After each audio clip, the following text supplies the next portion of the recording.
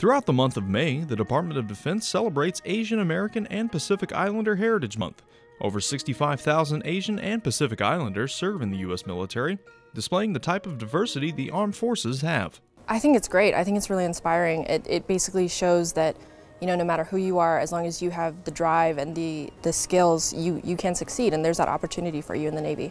Members from Allied Joint Force Command Naples displayed many pieces of Asian culture, including jiu-jitsu, as well as various traditional food items. For one sailor, showing off these things is important. A lot of uh, a lot of cultures, you know, you kind of do forget your your original culture. And I mean, I'm looking at a poster right there with origami, and I'm just having flashbacks of me being like six years old and my grandma teaching me how to do origami. So, to me, it's kind of bringing back the old family traditions that you see, uh, you know, when you were kids. Petty Officer Matt Wright, Naples, Italy.